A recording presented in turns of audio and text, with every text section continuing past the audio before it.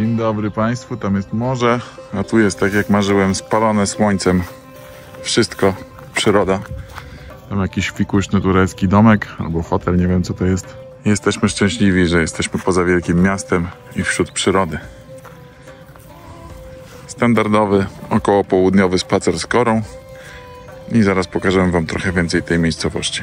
Jest prawie 30 stopni, no i jak to w takich krajach południowych latem bywa, wszystko puste, zero ludzi.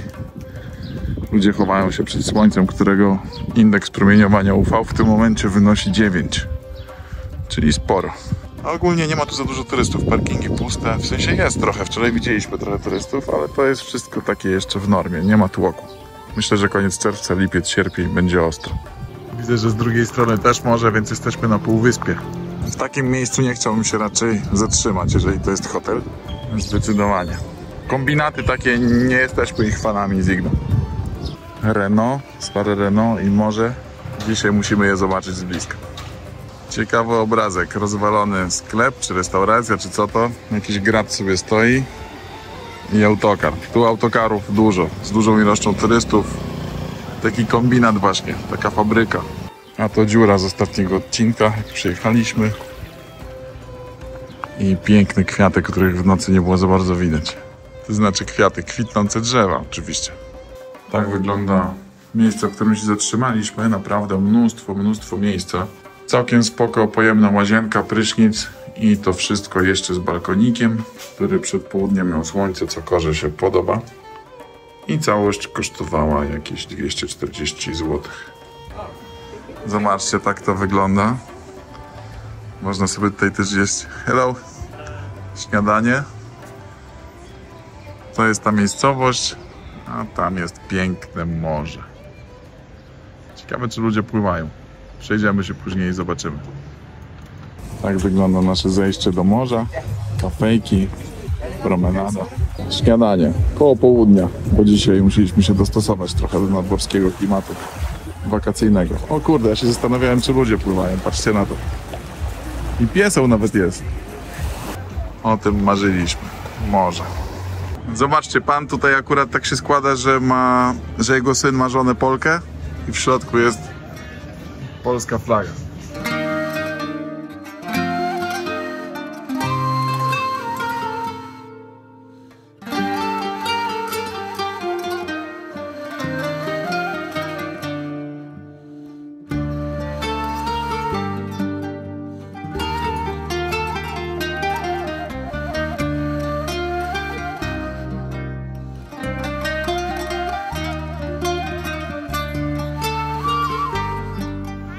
Zastanawialiśmy się, czy już jest sezon, no ale tak, mnóstwo ludzi kąpie się, mimo tego, że woda ma z 18 stopni.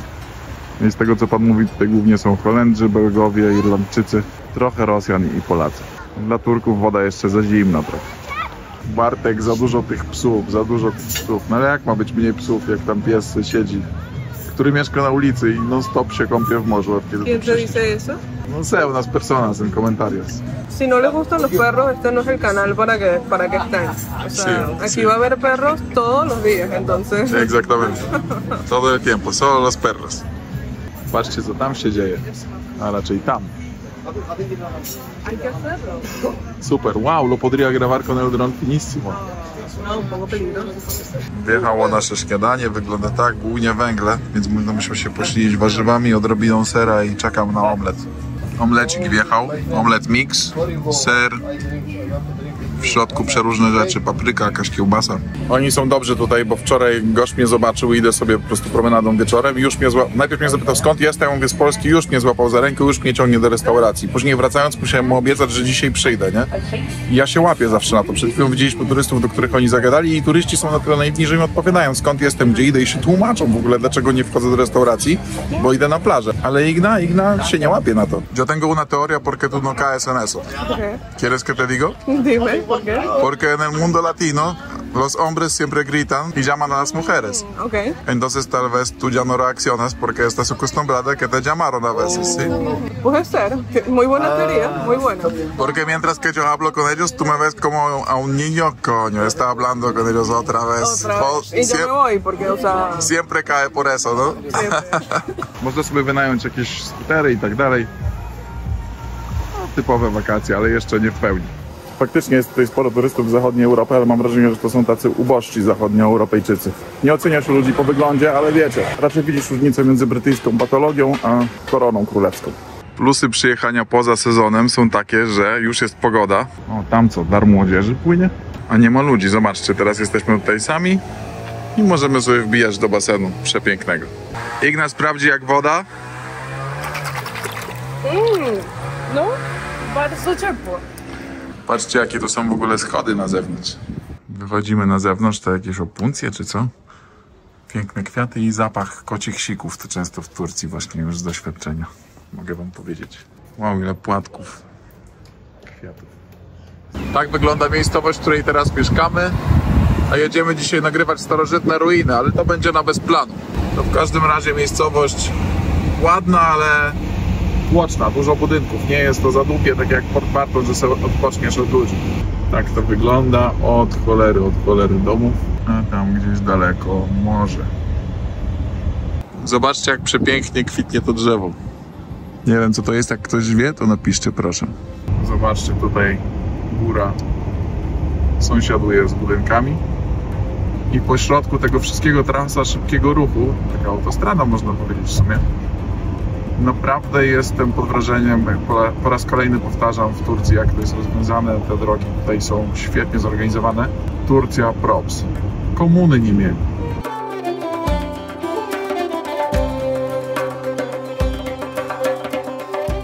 Trasy powycinane normalnie w górach. Szacun. Jest pieseł, a my jesteśmy przy ruinach Efesu. No i to wam pokażę bez planu oczywiście, tylko zaplecza nie będę pokazywał, bo na bez planu myślę, że jakiś zbiorczy odcinek z całej Turcji z ciekawostkami wrzucę, z miejscami wartymi odwiedzenia. siema, siema. A tak to wygląda przed wejściem, czyli można sobie kupić szpargałów, bajerów przeróżnych. Idziemy kupić bilet, bo podobno do 17.30 wpuszczają. Turystyka w Turcji to naprawdę jest inny level. Nie widziałem jeszcze państwa tak dobrze przygotowanego pod względem infrastruktury.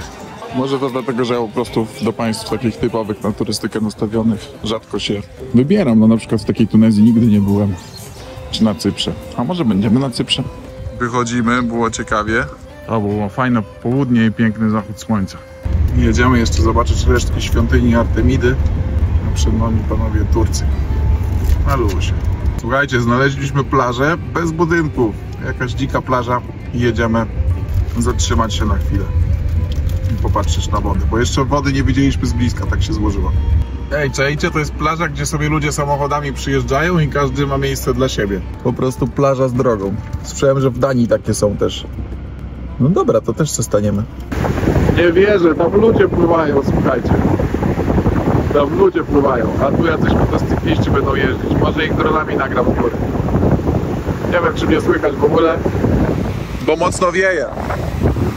Dotknijmy morza. Czytałem, że 19 stopni. Wakacje nad Bałtykiem.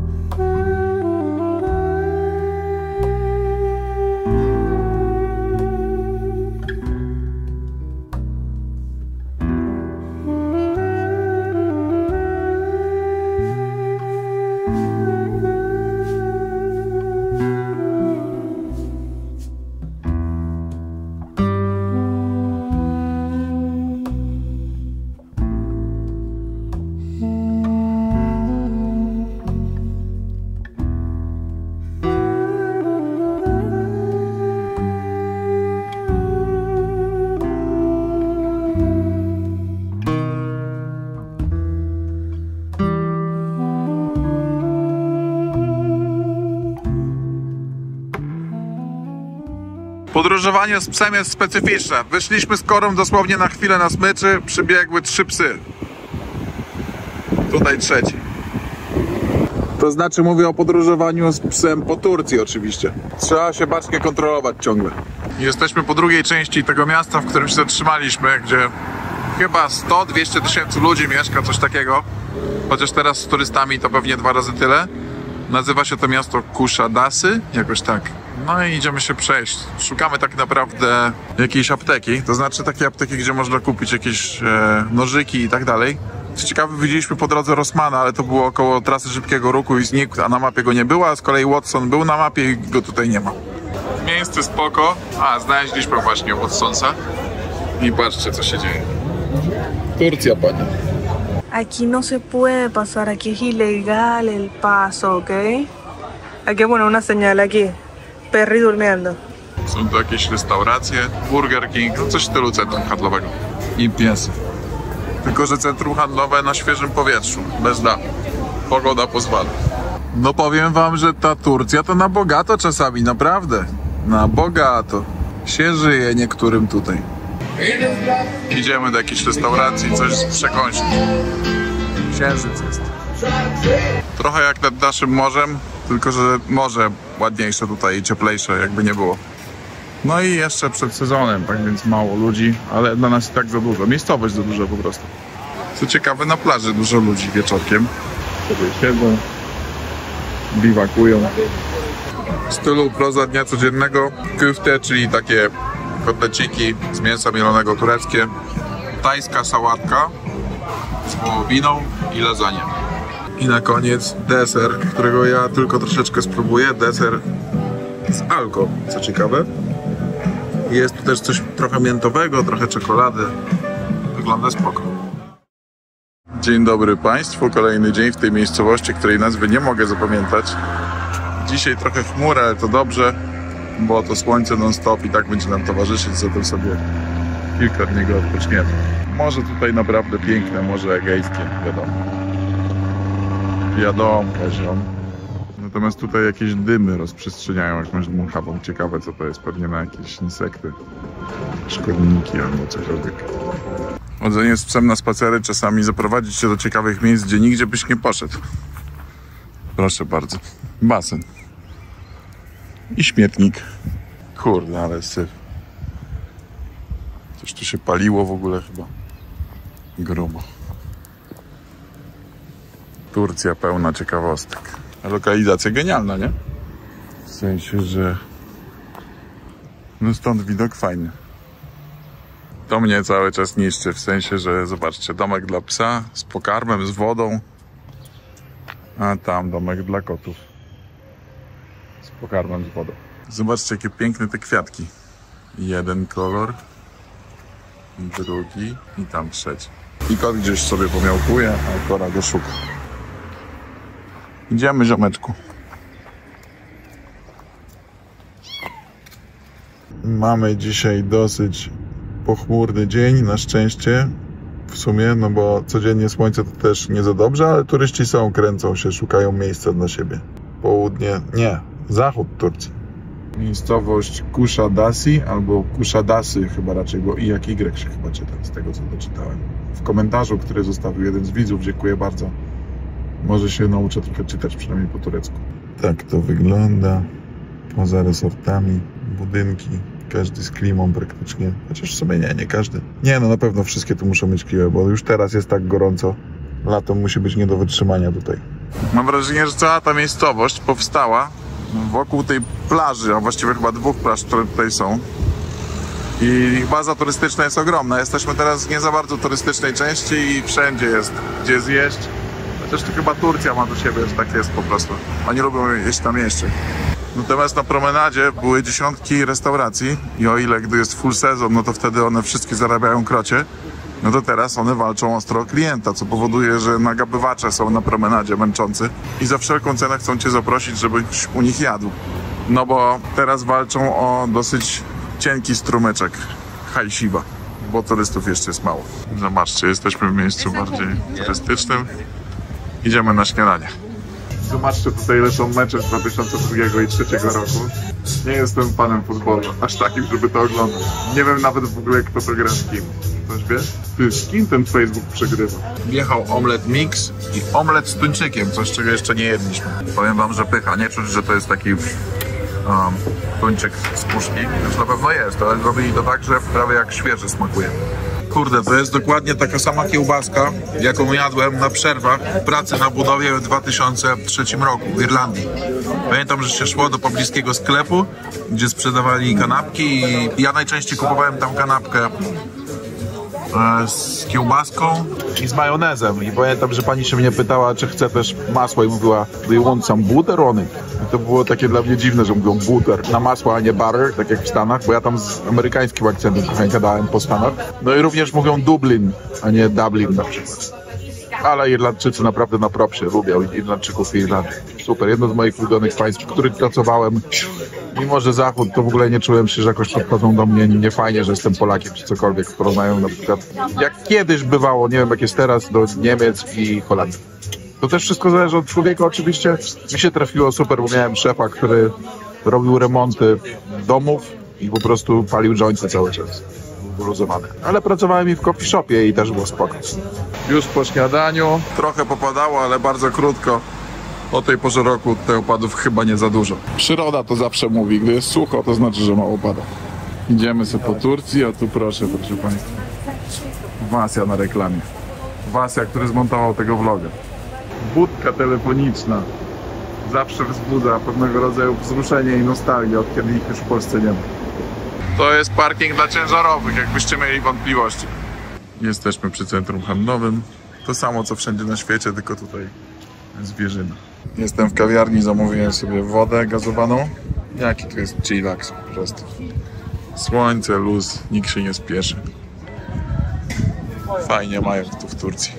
Znaczy wiecie, nie mówię, u nas też jest luzik. Jak jest lato, to wszędzie jest luzik. Jak jest słońce. Ale palm nie mamy, no, mrozów nie przeżywają większość z nich. Po raz pierwszy w życiu widzę i nie wiem, czy w Polsce są, sklep z artykułami dla małych dzieci. W sensie wbiliśmy do środka i tam były jakieś smoczki i tak dalej. A my chcieliśmy spirytus do dezynfekcji rąk czasami kupić. No zobaczcie, jaki to jest chillax. Trochę jak Włochy to wygląda, trochę jak Grecja, a to Turcja. W ogóle Turcja jest o wiele bardziej rozwinięta niż myślałem. Polska mi przypomina pod tym względem. To, czego szybko się uczymy w takich krajach, to znaczy ja się dosyć szybko nauczyłem, no to łazić w cieniu. Jak masz za sobą i na drodze przed sobą cień, nie wystawiaj swojego ciała na słońce przesadnie w krajach, gdzie tego słońca jest bardzo dużo. Dlatego cisnę tutaj, żeby się nie spalić. A doświadczenie to wniosłem oczywiście z dwuletniego, dwójpółrocznego pobytu na Filipinach.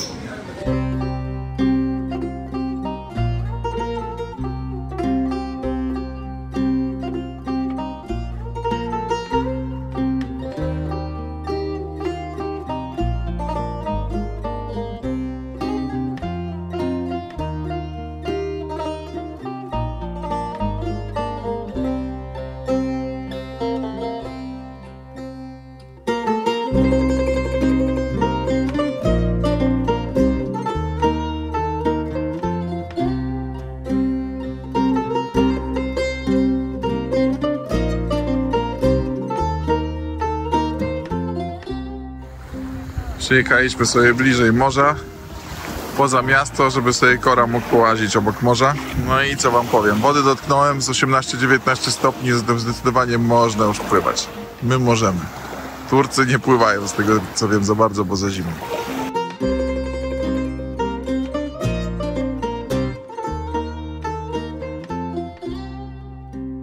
Szwagier wrócił do domu mentalnie. Znowu na Filipiny. Tu jakieś futro morskie rośnie.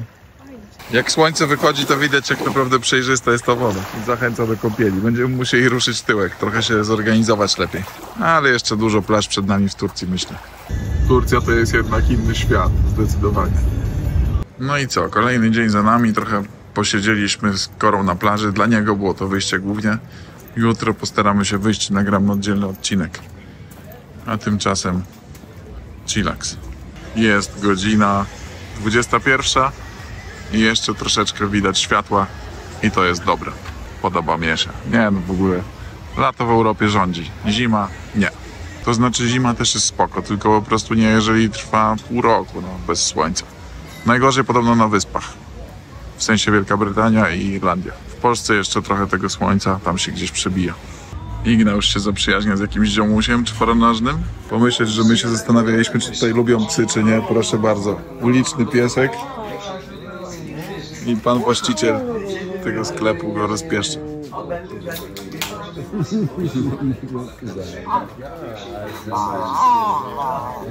Gada sobie to wszystko. Zobaczcie, jakiego drina deserowego zamówiła Igna z lodem. Miejsce nazywa się Somewhere Else i myślę, że możemy je polecić. Podemos recomendar ese lugar? Tú lo conseguiste y es como pensabas. En serio, en serio. Muy bueno. Pero no para comida turca, ¿ok? Es importante. Porque las, los meatballs no eran como... Sí, comida turca va a ir a un restaurante típico turco, donde tiene sus grilles y todo. Exacto. Siła brody, jak wyglądało się bez brody, jak wygląda się z brodą. Tak, broda to jest makijaż mężczyzn. Tutaj w Turcji sobie zdałem z tego sprawę. Igna tak na to mówi i coś w tym jest, no bo zobaczcie, bez brody i z brodą. No i Turcy, no i ogólnie muzułmanie często mają brody. Nie wiem, czy to sprawa religijna, nie orientuję się. W każdym razie e, faktycznie pomaga, bo jest to taki make-up, tak jakby. Pan chciał nam sprzedać róże, ale ja udawałem, że go nie widzę i nie słyszę. Okay? Porque no me compraste una rosa.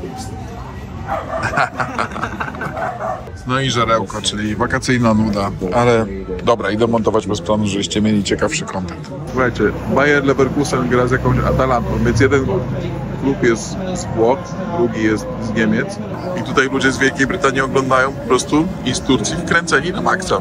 Niektórym sporo energii i czasu futbol zabiera. Myślę, że ta pani jest mniej zainteresowana niż ten pan. Pan z Wielkiej Brytanii i pani z Wielkiej Brytanii. Myślę, że ona tutaj siedzi i się po prostu znaczy oceniam też, że też po reakcji. No dobra, właśnie się dowiedziałem, że to jest finał Pucharu Europy, zatem przepraszam za ignorancję. Faktycznie. Poziom wysoki, zatem zrozumiała destynacja. No powiem wam, że fajnie jest tutaj być przed sezonem jeszcze praktycznie. Od czerwca już będzie ostro, lipiec, sierpień to będzie hardcore. Fajnie jest, gdy nie ma tutaj tłumu. Ale już jak szukam Airbnb w kolejnych miejscowościach, to widzę, że ceny idą w górę z czasem. Logiczne, no wiadomo, lipiec, sierpień to będzie dla nich żniwo. Hay que decir algo claro aquí, que alguien se metió en el juego. Tanto que hablabas y ahora te metiste en el juego. Coño, Ajá. tenemos que ir a 3-0. Viene 3-0. Te metiste. Ya me metí, estoy Ya, vas a dejar de hablar paja. Cada pasada dobra. Ale wiecie co, piłka nożna to jest taki niesamowity sport, niby prosty, ale porywa wszystkich, mimo że mało jest goli, nie? To nie koszykówka, to nie siatkówka. Ale właśnie przyszło mi do głowy, że tam nie ma gejów praktycznie, co jest niemożliwe. Statystyki są takie, że jakiś procent społeczeństwa to ludzie, którym podobają się ludzie tej samej płci. Pewnie boją się przyznać do tego, że są gejami, no bo ziomki nie chcieli być razem z nimi w szatni. To pokazuje, że jest to trochę taka społeczność wycofana. Smutne trochę, 2024 rok, nie? Było parę przypadków, ale nie wiem, jeden, dwa, trzy, bardzo mało jest przypadków piłkarzy robiących coming out. Wiecie, to są po prostu sami twardzi faceci, oni nie będą z gejem grać w jednej drużynie. Na pewno nie, na pewno to jest uproszczenie, no ale dziwne, że tak mało jest tam właśnie gejów. Statystycznie, tak jak mówię, jest to raczej mało prawdopodobne, żeby na dziesiątki tysięcy znanych piłkarzy klubów świata nie było kilku chociażby lub kilkudziesięciu gejów.